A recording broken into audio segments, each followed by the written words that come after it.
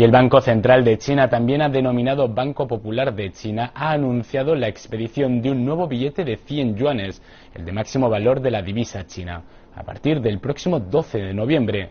El nuevo billete, el cual pertenece a la quinta generación de billetes bancarios introducida en 1999 por el Banco Popular de China, será más difícil de falsificar y tendrá una lectura más sencilla para las máquinas.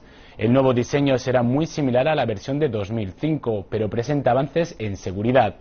La antigua versión del billete de 100 yuanes se retirará de la circulación tras la introducción del nuevo modelo.